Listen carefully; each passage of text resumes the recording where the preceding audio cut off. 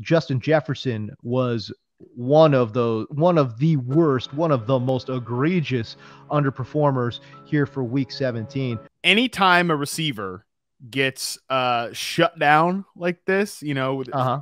there, there's a lot of factors at play here. And we've seen teams do this with Justin Jefferson before. Um, where you get the cornerback up there and you just just press the shit out of him. The Vikings are pretty good about getting um, you know, Justin Jefferson, not into the Cooper Kupp role, but into like advantageous positions. And when they did that, the Packers would have Jaire Alexander like play outside leverage, press coverage with outside leverage uh, on Jefferson, but then they'd have the safety like kind of bracketing him to, and playing the inside leverage there. So if he's got an in breaker, the safety cuts it off.